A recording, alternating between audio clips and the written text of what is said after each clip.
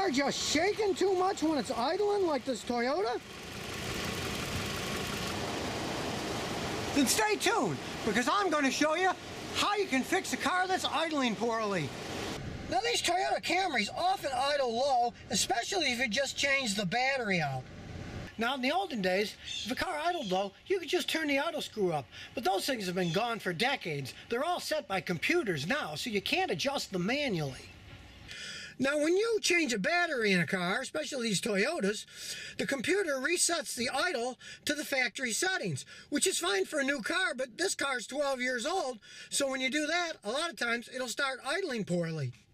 So something as dumb as a dirty air filter or a clogged throttle plate will make the car idle really low. So you gotta check them and clean them if they're dirty. So I'll check the air filter, and in this case, it's not too dirty.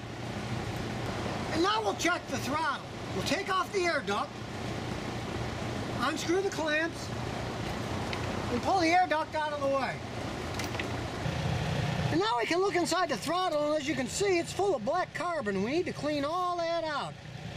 Now these are electronic throttles, so we're going to take off the negative battery terminal so we don't short anything out while we're cleaning it. Then we get our throttle spray cleaner and start cleaning it up. Spray the heck out of it.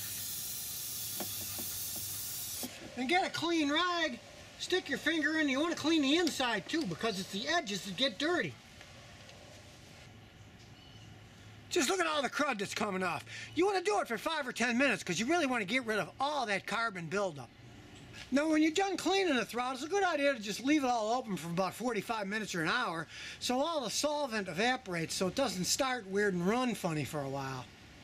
Now, after it's dry, you put the air ducts back on. Then, of course, put the battery on.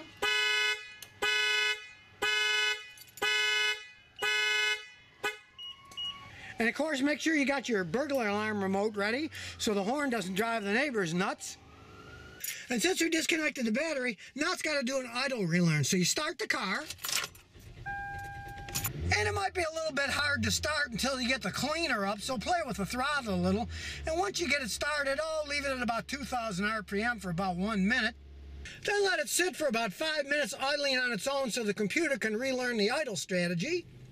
And voila, now you have a nice smooth idling engine.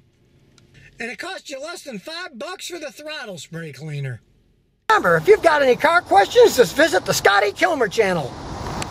And I'll answer them as soon as I'm done knocking this parking lot down.